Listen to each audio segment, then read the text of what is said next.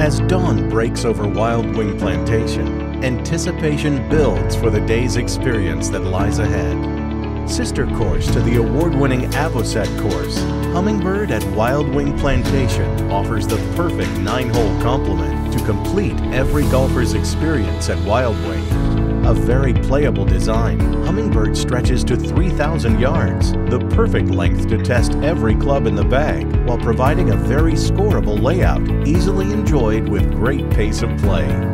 Another crafty design by venerable architect Willard Byrd, players will enjoy dramatic water views with dog legs meandering through signature Carolina pines and aptly placed fairway bunkering whether enjoyed before your round at Avocet or afterwards to keep the good times rolling, Wild Wing Hummingbird offers a fantastic nine-hole experience for players of all abilities.